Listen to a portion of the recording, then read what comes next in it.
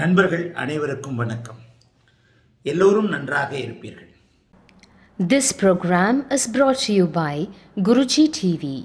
This YouTube video is a translation of the Tamil video of our renowned astrologer Jyotish Mahaguru Aditya Guruji. Those who want to have a look at the Tamil video, please check the description box. We have given the Tamil video link. This is astrologer Deepa, and I'm presenting you the English version of the Tamil video.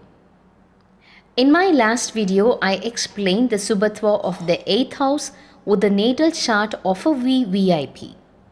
In this video, I'm going to continue explaining the Subatwa of other houses with the very same natal chart. Let me start with Venus. The fifth house lord is in the eighth house to the ascendant and in addition to this, it is combusted and retrograde. If a planet is combusted or retrograde, many people starts to worry. Please don't worry about it. Even in this natal chart, I want to prove that you don't need to worry about a planet which is combusted or retrograde, but when it is Subatwa. It is good when a malefic attains Sukshma strength or Subatwa of a planet can rectify the combustion or even Grahan dosha, debilitation, position in the inimical house, position in 6th or 8th or 12th house. I often reiterate these points in my videos. You can take a look at the Navamsha chart that is displayed on the screen. When you are checking the Subatwa of the planet, you have to definitely check Navamsha as well.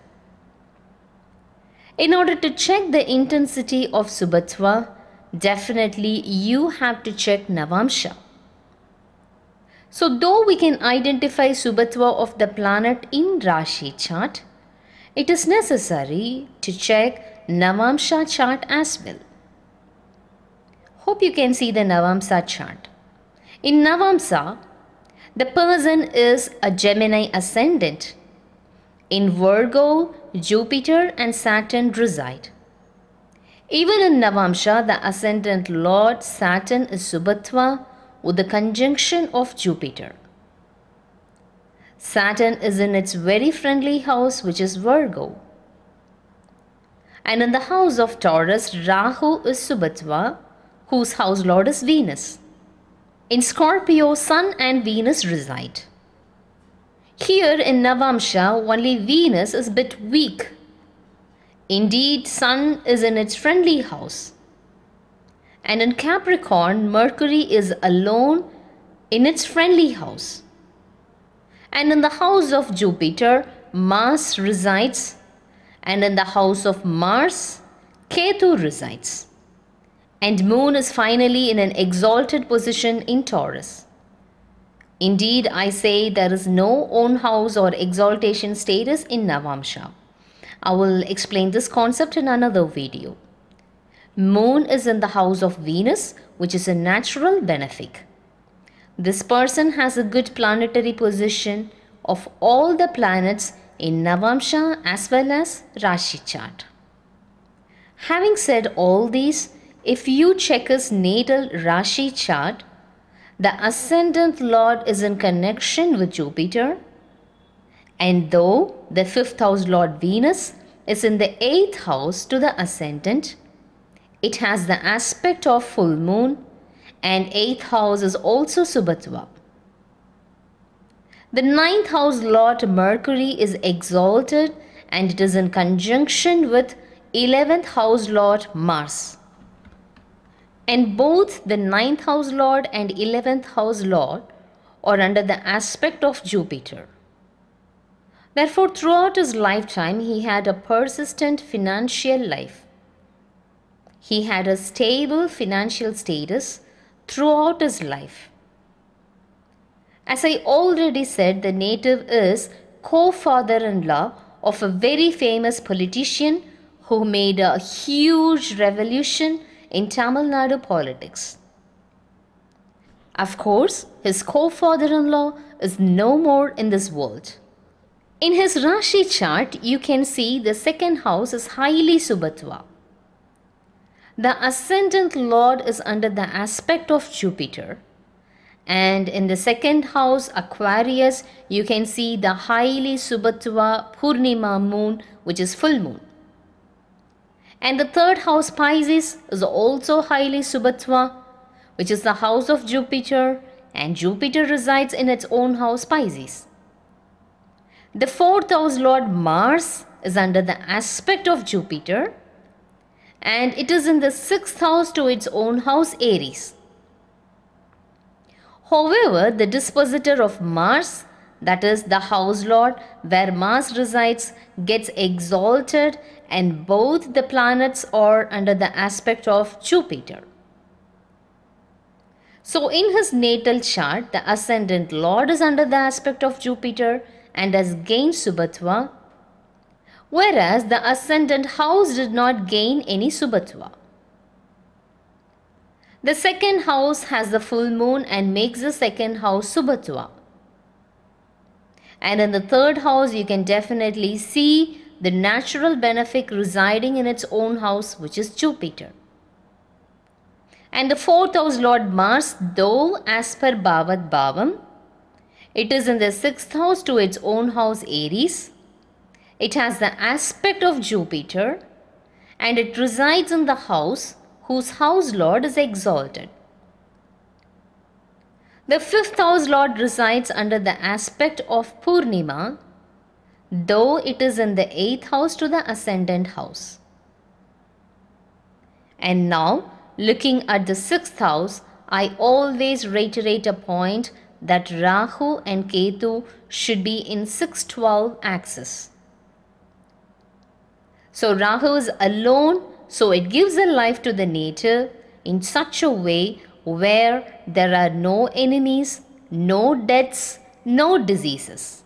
His life is without enemies, deaths, diseases.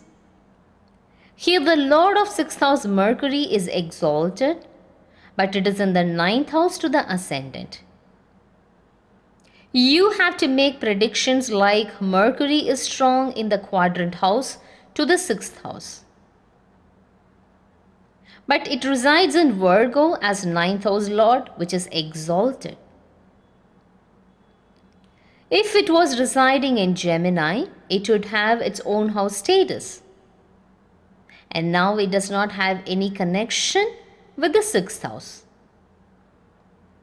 A planet that has two own houses will do 80% of one of its houses to which it is more connected and it will do 20% of the house effects to which it is not connected.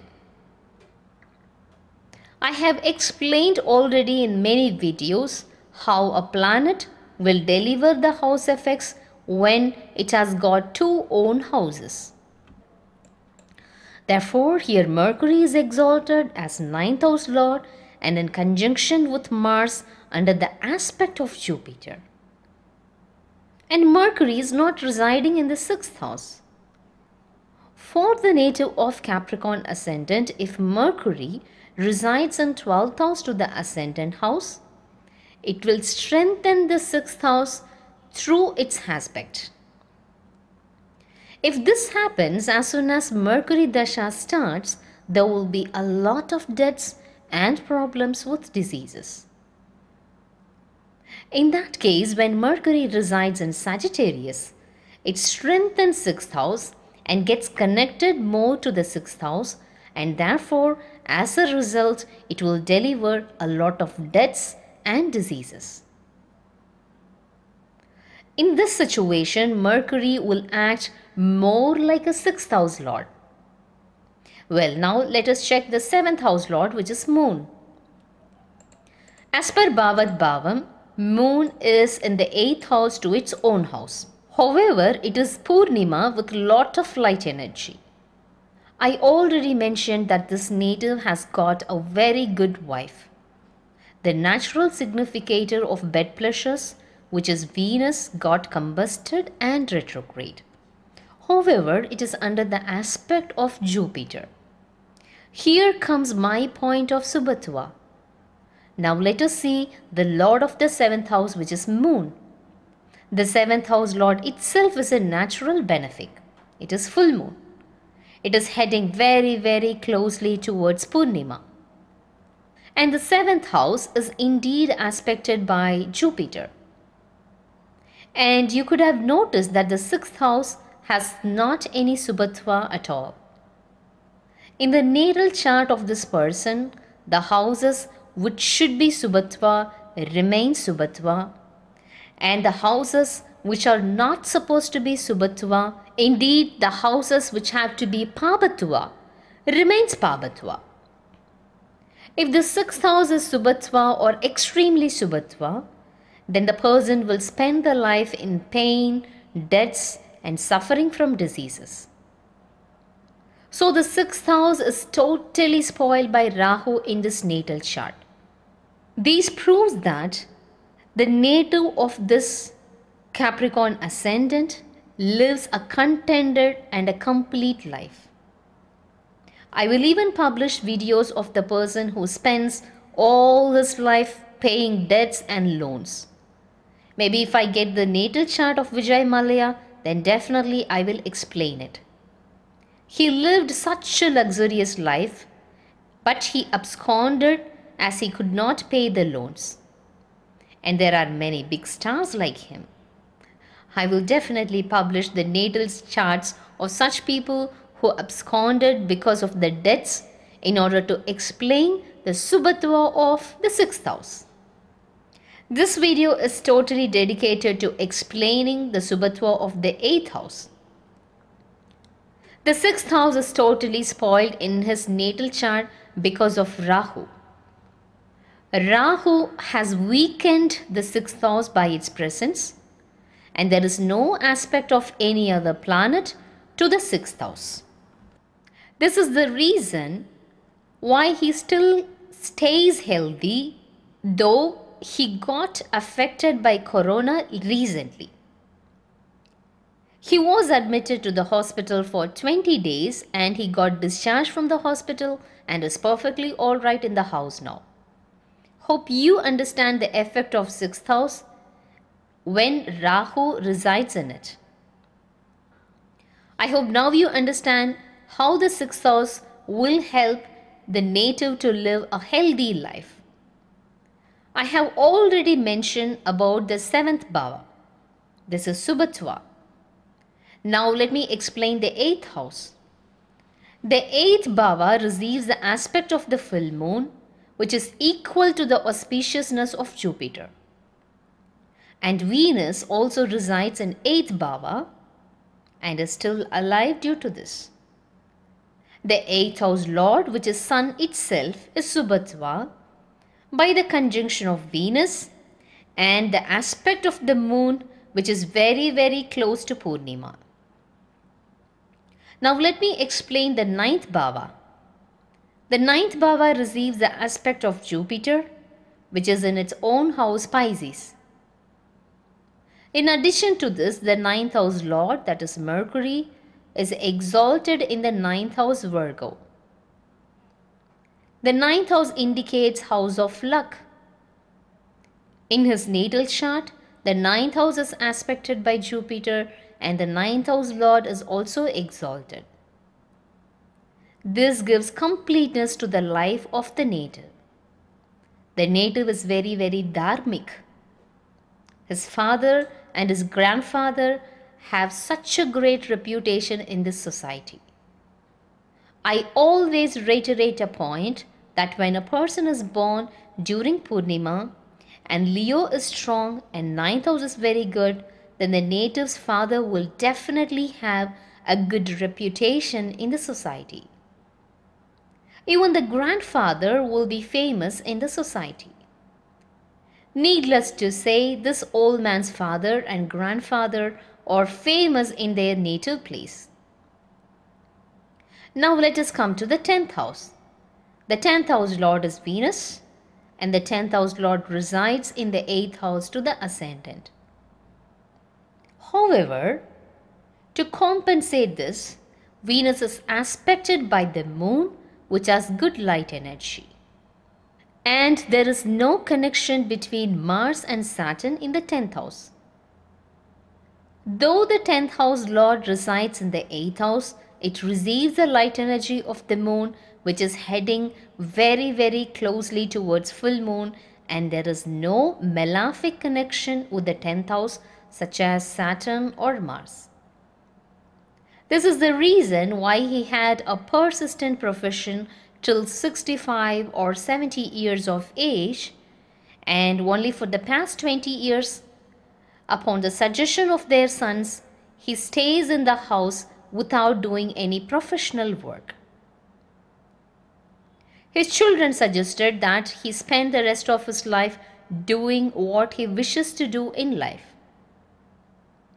What would he wish to do in his life? He is a native of Capricorn ascendant and Jupiter aspects ascendant Lord Saturn. So here there is a combination of Saturn and Jupiter and he likes to worship God. He loves to go to temples and he likes to spend his time in prayers. If in one's natal chart Jupiter is strong, the children will be of very good status. In a natal chart, the fifth house, the fifth house lord, Jupiter, should be strong to have good children. Both the sons are at their father's beck and call. They always request their father to approve each and every idea before executing it. Though father is not sometimes really aware of the nature of the task, the father notes yes. And only after the father notes yes, the sons plunge in executing the plan. And more importantly, this family lives as a joint family even until this year. This is a very remarkable feature. And only this old man approves the commencement of a task and responsible for the final decision of every event in the life of their family members. Both the sons have great esteem for their father and great love for their father. The sons themselves are more than 60 years old. They too have grandchildren now. Though they are grandfathers to their grandchildren, still they request their father for advice before taking any decision. They respect their father a lot. The reasons for this attitude is Purnima Yoga, Subhatva of the Sun, and the aspect of Jupiter on Venus. I would like to explain how an extreme Subhatva of the planets will work and definitely in the future I will explain natal charts regarding Pabhatva of the planets. Jyotish is a coin that has both phases. It is a combination of positive and negative events. Definitely, I will explain such charts in the future. Okay, the 10th house is highly Subhatva. Now let us see the 11th house. The 11th house is aspected by Jupiter. The 11th house signifies the house of gains. The 11th house lord, that is Mars, which is lord of the 11th house, Scorpio, is aspected by Jupiter from its own house Pisces. Both the 11th house and the 11th house Lord Mars are aspected by Jupiter. Now let us see the 12th house.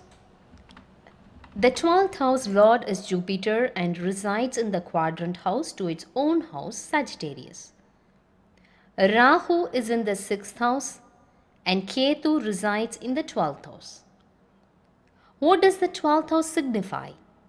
It signifies travel abroad and expenses.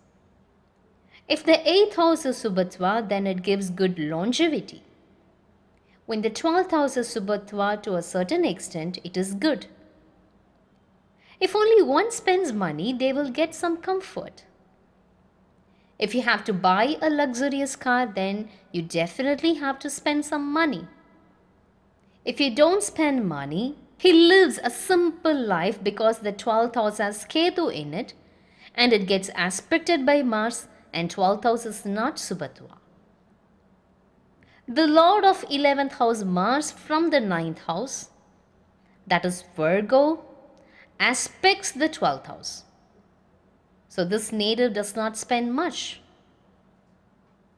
In case the 12th house is Subhatva, in this natal chart, then the native would be a spendthrift. He will spend a lot. When the 12th house is Subhatva and the 12th house lord is strong, that is when Jupiter is strong, definitely the more he spends, he will also gain a lot. But there is no such planetary combination in his natal chart. I know him very closely, very, very closely. He is a very close acquaintance to me. He does not spend much and he hesitates to spend money. In general, people of those days, that is, people of previous generation who have crossed 80 or 90 years of age, do not spend a lot as we do now. They think a lot before spending the money, like whether it has a purpose or not. This person is not an exception. This is a perfect example of Subhatva of the Karaka of the planet and Subhatva of the Bhava and this is a natal chart of a person who is still living whose planetary position explains perfectly Subhatva and Bhavatva. How beautifully Vedic astrology renders a lot of information. You can clearly understand from his natal chart Subhatva of the Karaka of the planets and the Bhava. And you would have got an idea about how Navamsha works. Not all have a beautiful planet combination like this. This natal chart is like one in thousands of people who are born in this world. Even it will be one among 10,000 or why not even one among 1 lakh people. How many people who have crossed 90 years of age or living such a healthy life with great respect and reputation in society and more importantly in family. Not even one in thousand will have this blessing. One in one lakh people or ten lakh people will have such a fortunate life, and this elderly man is one among them. He has got a great reputation in society and a great family background. He is the co father in law of a person who has changed the direction of the Tamil Nadu politics. This is the reason it attracts attention. I would like to add one more point here. He does not prefer to advertise himself. He and all his family members are very, very modest. When they communicate with the people in the society, they do not disclose their family background. They are very modest to such a great extent. I hope now you understand Subhatva of the Bhava and the Karaka of the planet. And this natal chart is especially indicating the Subhatva of the 8th house. Though I am titling this video as 8th house Subhatva, in this natal chart all the Bhava or Subhatva, indeed all the planets are Subhatva in the natal chart. The very important point that I would like to convey in this video is don't worry about the retrograde planets in your natal chart. You see whether it has Subhatva connection. You see whether it has the connection of any natural benefics. I have seen many, many natal charts and I strongly suggest that when retrograde planets are Subhatva, it is a great antidote for them. Subhatva of the planet is an antidote for the combustion of the planet as well. This is the perfect example of how a person lives a complete life when the planets and the bhava or subhatva. In my next video, I'm going to explain about Mars as an introductory video before explaining the effects of Mars in 12 different houses for the native of Aries ascendant. Well, this is question time. What are the factors that you have to check in order to know the longevity of a person? Please write your answers in the comment section of this video. And in description box we have given the playlist link of all the English videos so far published. And thanks for emailing to us regularly with suggestions and feedback. Please keep writing to us astro.write to us at gmail.com. Thank you.